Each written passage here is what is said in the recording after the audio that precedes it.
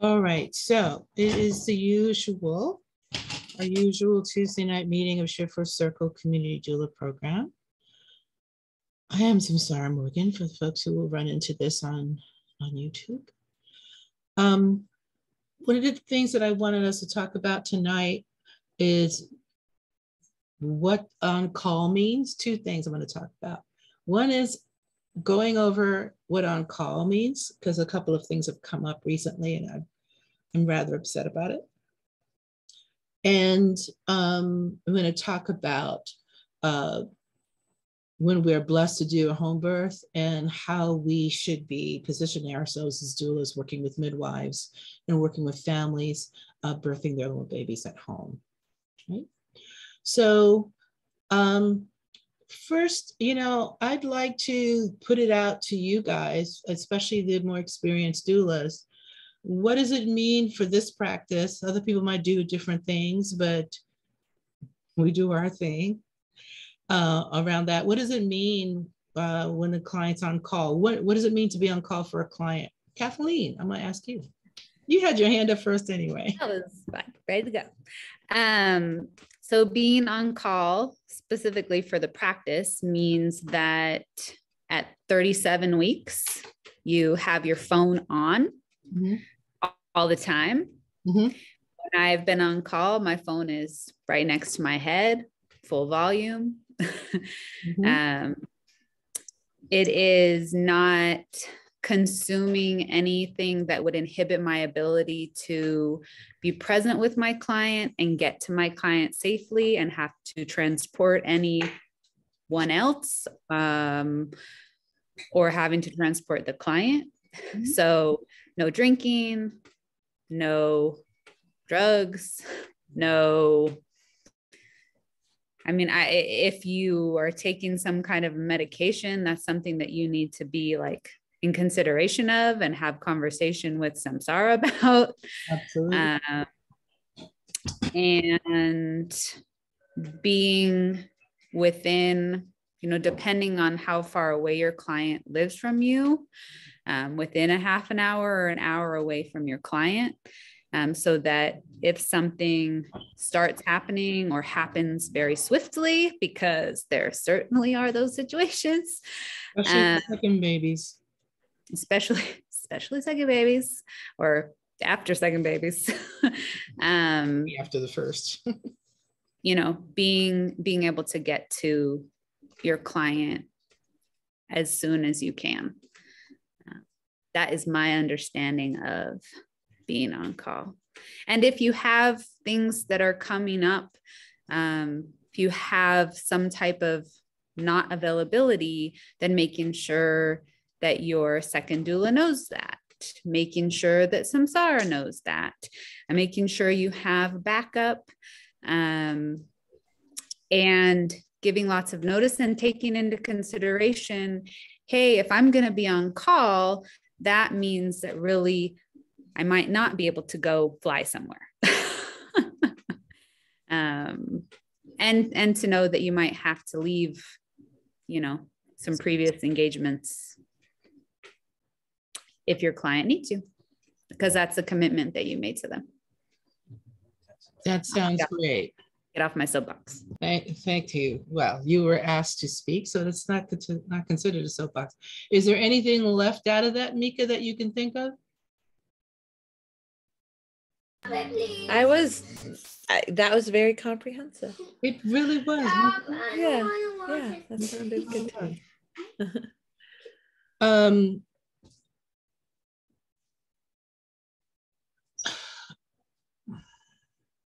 this is the the the the primary part, other than the birth itself. This is the primary portion of our responsibility to our client, that they trust that we are going to be there and we are going to be there with them through the birth of their child. They have no idea what doctor is going to show up when they go to the hospital or if they're even going to like that person. They have no idea of the circumstances that they're going to walk into into in their, their hospital birth. And especially in a home birth, when they really didn't need to have a doula, actually, because the midwife could have handled it all. So they're actually being very lovely to us to invite us into that into that setting. Generally, midwives have second midwives and apprentices and all kinds of stuff that could be doing all the stuff that we're doing. Okay, so we're very honored when a mom invites us into her home birth, and uh, we're very uh, we have a serious responsibility in a country with with a horrible track record of abusing birthing people uh, to make sure that we are there for them when and not just physically there emotionally there mentally there spiritually there there for them as they are, as they're going through this journey of having their kids. Again especially first time moms because they're scared to death. They have no idea. They're trying to be brave. Most of our clients want to have a natural birth but they don't even know what that means. They got no clue. They haven't done it yet. Most of them have seen horror and heard horror from their friends and family and everybody thinks they're crazy to want to have a natural birth and the one person that's going to stand by them and uh, support their desire uh, and help empower them to remember that they actually can do this, that their body really can do this, is us. So it's not like at, you know, an office job where if you're not at your desk, somebody else can pick up your work. And even if you have a co-doula, even when you have a backup, the goal is not to use your backup. The goal is for you to be at the birth. That means there needs to be some really big reason why you're not going to be at the birth. You know, is something happening that makes you emotionally, mentally, spiritually unable to do that birth, that, that needs to be a pretty big, big deal. Pretty big thing. You know? Clients give us due dates. So we know like two weeks before that due date and two weeks after that due date, that baby can come anytime in that window. So if you agree to take a client with a specific due date, you got to look at your calendar and consider whether, you know, well, taking a family trip, how close is it to that due date? Every once in a blue moon. And also as a doula, you're tracking your clients. So you know the ones who aren't eating. You know. It's pretty apparent. We ask them about food every single visit. Every single visit. And it is like clockwork that the ones who are not eating, the kids are going to come early. Is that not the case? Folks who are already working with clients. We know. So, so you know that that trip that your family's taking, best to know is from your own prof- professional knowing I need to stay close.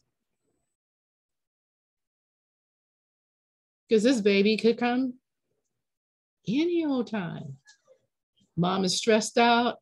Mom is fighting with the partner. There's a lot of trauma. Someone's about to lose their job.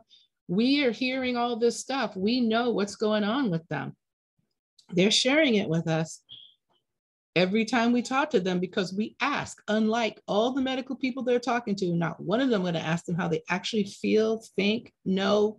No one. No one's going to ask them that. But we do.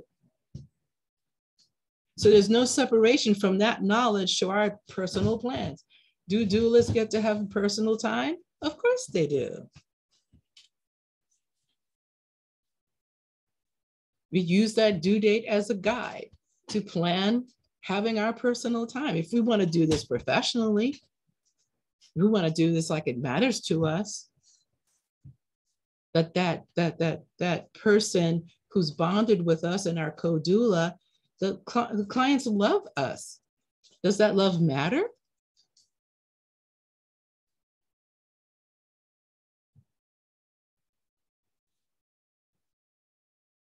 So if that love matters, we're going to give it a primacy in our life. It is more important than anything. Right? Now, some of us have little children. That's a hard one, isn't it? Okay. So little ones are, you know, if you have a sick child, you can't go to a birth. Because little humans are the only people that trump our clients. And little sick humans probably mean that we have a bug that we would bring to our clients, which makes us unable to do a birth. With great sadness. So when you're texting a client that you have to disappoint them, you're not just canceling a dentist appointment.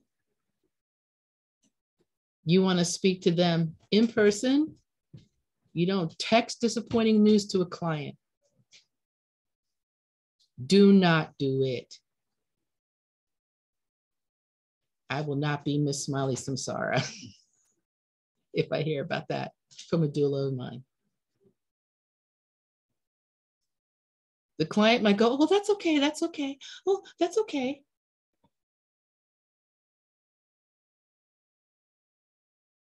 Doesn't mean it's actually okay. And the way we work, there is another wonderful doula who cares and loves about that client who can step in. But if you're the primary doula, they bond with you in a very particular way.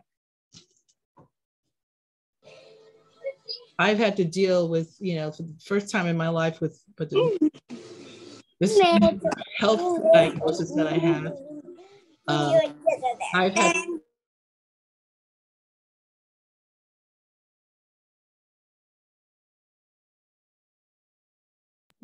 You got muted. Sorry, I'm sorry. what happened?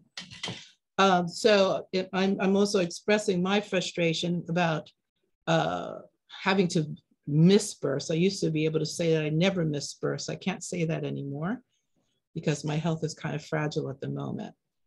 Um, and I've had to learn to accept my bodily limitations and then let my clients know when I have bodily stuff coming up that prevent them, prevent me from being with them, and then communicate that in a way that I feel that they can receive it and apologize for it as often as reasonably possible. apologize when you have to make the first disappointment, apologize later after the birth, being happy that they had a wonderful birth and expressing sorrow again that I wasn't there with you at that moment.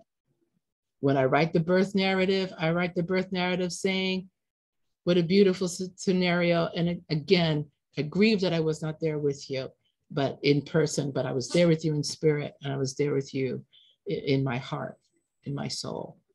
Because even though I was not physically at my birth, I'm still telehealthing.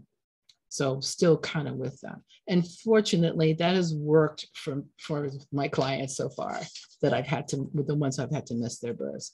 And they do report to me that they could feel that I was still there with them, even though I wasn't physically with them.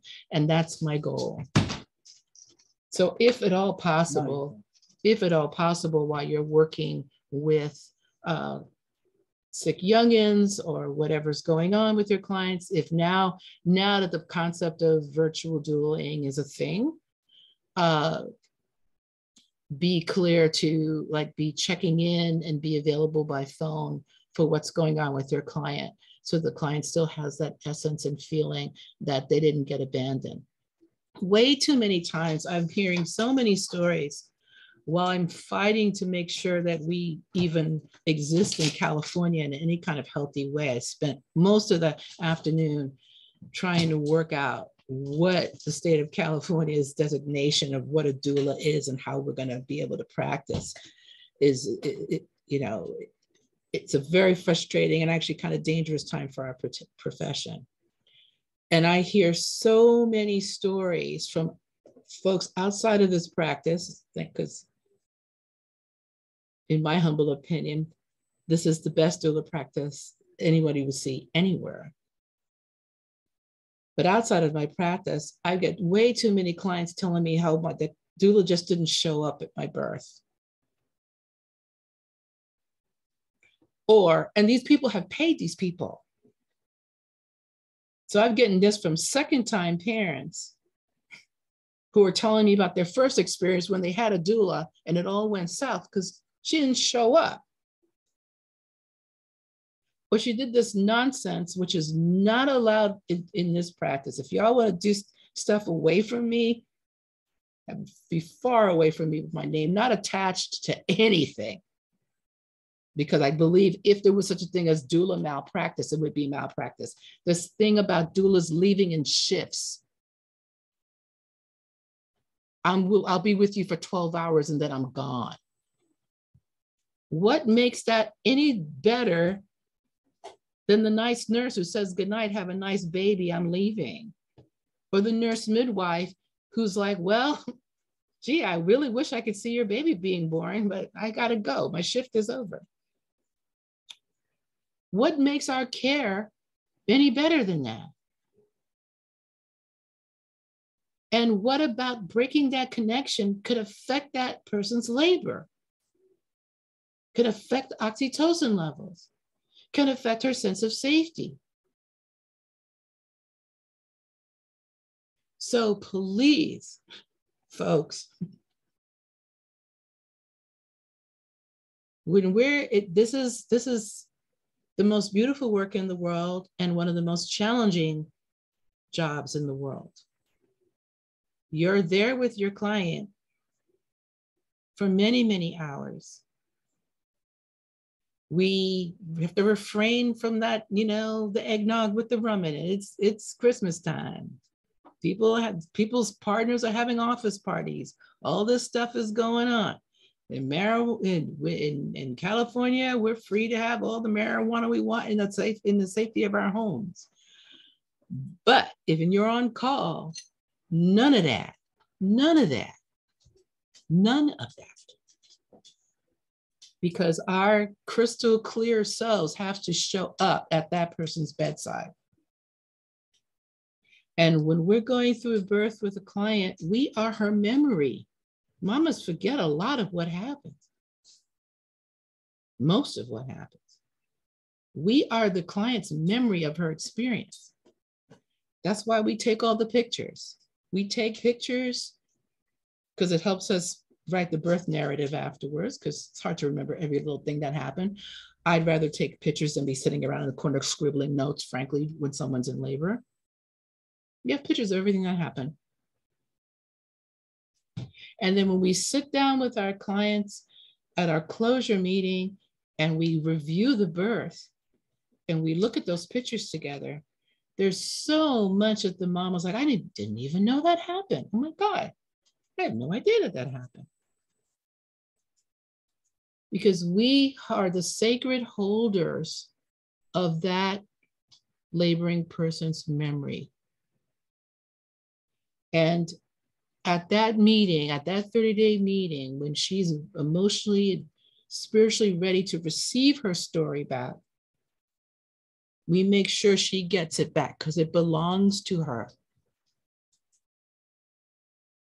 And the loss of that memory could result in all kinds of things that people haven't bothered to study because people don't really care what happens to women and how they feel and if they survive and if they live and if they die. But we do. We do. So we want to be wide awake to remember it all and to remember all of the all of the responsibilities we have of taking taking pictures of that board so we know the names of all the doctors and nurses who came into the into the room. We want to be there if the partner was having a hard time. You know we we want to be there to be helpful to be present and to be uh,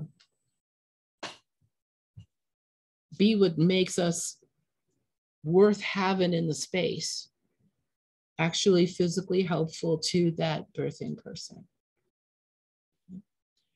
So any questions or feelings or comments about all of that? Anybody want to add anything, subtract anything?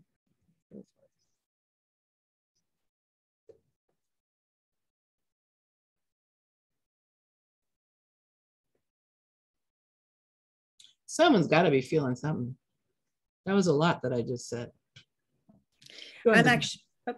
Davina and then Kim. Davina actually had her hand up and then she had her. I was just gonna say that like we're going through the difficulty of that in our house at the moment, being that we have one car and two kids Yep. and the need to like make money and Kelvin having to decide if he can take a gig or not because he needs to be able to take the car home Right. and watch the kids and so it's been tricky um and we're we're sort of thinking maybe we need to you know after i'm on call currently so maybe once she delivers having a little bit of time until we can save up enough to get another car before i'm agreeing to be on call for people so that it's just not this it's tricky you know we're really definitely having to navigate a lot of things so These are important things to to consider. yeah You know, is your client close enough that you could hop into like a Lyft? Um, 30 minutes away. So I could, but it would be an expensive Lyft. Be an expensive Lyft. we are not in the position to be dishing out Lyft bills at the moment. So, I understand. you know, it's all the pieces. For Well, sure. This is one of the reasons why it's good to charge a fee that will support you if you had to jump into a Lyft. Right, right. Or childcare if needed or something. I'm definitely thinking of all of the additional costs that could be incurred that I don't want to pass on to my clients, but in order for me to do what I need to do, they are, you know, thankfully it's worked out in the past, but yeah. And it is very important for you to find a co-doula for yourself in there in your area. mhm. Yeah, Because frankly, I consider it very dangerous for a doula to practice without a co-doula or a backup doula or somebody who agrees to back you up. I Even do if they have a backup. I do have a backup, That's good. But it is obviously I would prefer to be there, and so there's just Yeah. figure out. Okay, so you do have a backup, so I'm not gonna spank you. That's great. No working without a backup, but a co-doula is even more comfy. Yeah, yeah. It's way more comfy. And your client has met the backup doula? Um, she knows her already. That's what I'm talking about. So your backup doula is, we want to make sure the way we work, our clients know our backup, hopefully from appointment one and loves both of y'all. And although they will have a disappointment at the co-doula, so that the- at the primary doula not being there, it's tempered Mhm. by the fact that I do, I know this person, I like this person. And, you know, it's that my other sister doula is coming. One of my sister doulas is coming, not a stranger. Mhm. So, yeah. Good work thinking about all that stuff, Davine. Anything else you wanted to say? No, that was it. That's all. Kim, what you want to say? Um, first, I was going to say, Davina, I hear you about the car. That is definitely something that I have struggled with too, with having just one car. But uh, I, everything you were saying, Samsarah, was really bringing up a lot of emotions for me because I, I feel like in all the different jobs I've had, different, very varied jobs, I've never felt so much responsibility as I do now being on call because I feel um because it is every second of the day. I have my phone next to me and oh i didn't charge it Sorry, guys. I just agreed to a show. um, and I, I really feel like um, I feel that the heaviness of the responsibility, and it's it can be stressful at times because you know if it's the middle of the night, I have my I make sure is it charged? Uh, am I ready to go? Is there a car? Where's my husband? If the if I'm not here, plan A, B, and C in case the kids are with me and my husband's not around. So it really does feel like a huge responsibility and having a backup doula having a co-doula does definitely you know lift some of that weight uh, although like you were saying i would never want to miss uh, that birth. And right now, of course, you know, I have a specific mama that I'm working very close with, and she doesn't have a partner and she has three kids. And so the responsibility feels so heavy. She's also a little bit far away from me, and mm-hmm. it's her fourth baby. So it could be quick. And so all of these are coming together. And I, I'm like, you know, I'm not sleeping very well just because I don't want to miss it. I really want to be there. And it, I just wonder too how you're able to manage that stress sometimes, honestly. I also have another birth that is supposed to be the 6th of January, but she's also asking to be induced earlier. And she's, anyway, that's a different story, but I'm afraid they could come together. And I really want to rely on having, you know, somebody else in case I couldn't be there, which I don't think it'll come to that. But anyway, I, I guess my question to the circle too, and to you, Samsarah, is how do you deal with that? It's such a big weight and responsibility because I do want to honor my moms and I want to be there and I want to be the best that I can for them. And it does feel hard sometimes. Well, thank you for the question. I mean, first and foremost, you need to watch your dates and not put yourself in a position as much as possible. Right. To have overlaps that are too great, especially when you're first starting out. Kathleen was Kathleen and I were monsters. Kathleen is one of the bravest doulas I've ever worked with. That girl was like, you are. I'm sorry. I've worked with a lot of people. I get to say some stuff about that. I would say, oh, well, Kathleen, you know, the mom is due on the 20th, one due on the 20th, and one due on the 25th. And what do you the think? Babies, you know, the babies are kind. Their little spirits are waiting to come down. They're like, okay, you want to go first? Okay, you go first. I'm coming next. They do line up. They do line up. Kathleen, there was never not a sweat. Not, it's because they like you, Kathleen. not a bead of sweat on her forehead. I was like, okay, we got one client due on the 20th, one due on the 25th. She's like, okay. And off we went.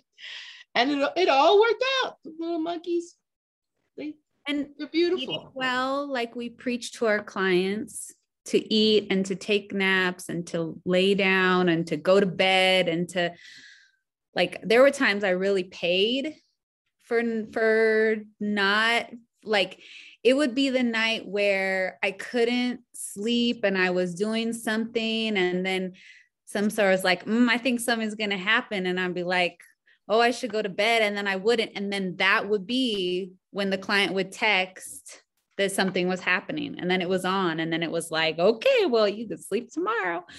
But mm-hmm part of like managing that stress is also self-care. I mean real real care because if you don't eat and you don't sleep then you also can't be your best you. And we want to be our best us. And and you have to be able to function. If you don't sleep you can't drive safely. Right the, if you if you do this job right, in my humble opinion, you'll live a long, happy, healthy life because it requires you to put your self care first, as Kathleen was saying.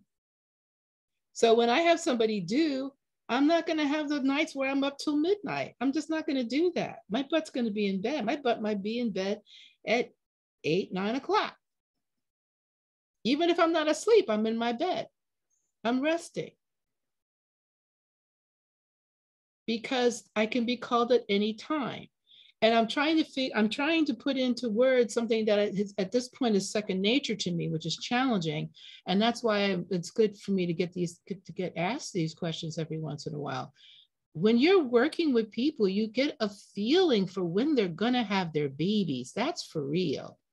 Medical people don't believe that partly because they work with too many women at the same time and they don't have a personal connection with them.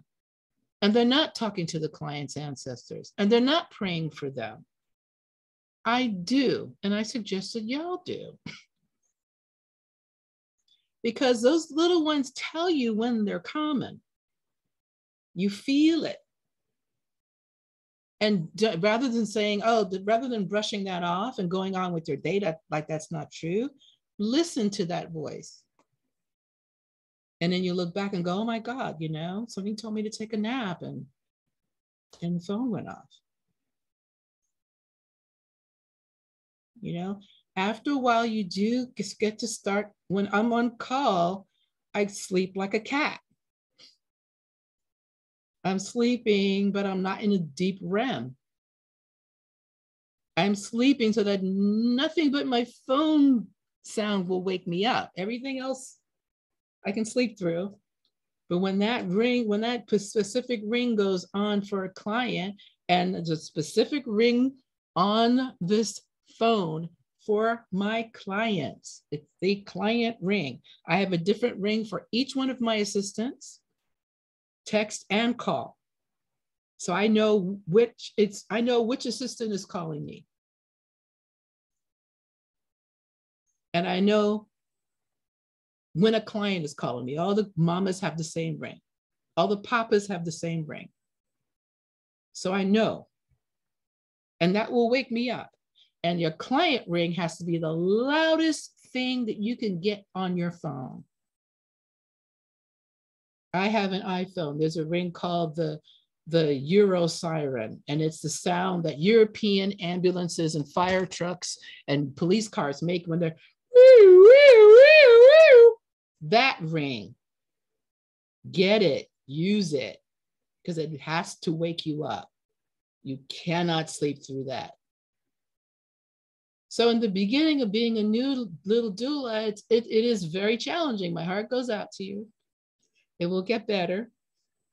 But after a while, you will start to tune into, you know, you can get you sleep. But your body will know when that particular ring goes off, it's like Pavlov's dog. and I'm a horrible waker. Any of y'all who have been silly enough to text me before nine o'clock in the morning, I've seen the snappy side of Samsarah. I don't like waking up early. I did my corporate life where I had to be at a desk at eight o'clock. I can't even imagine such horrors. Oof that is not in my life anymore. I'm very happy about that. So yeah, I get very testy if I get Kathleen's look got, the face on because you know everybody does it once and then they get growled at electronically. I try to do nice, do it nicely, but it's not a cheery good morning.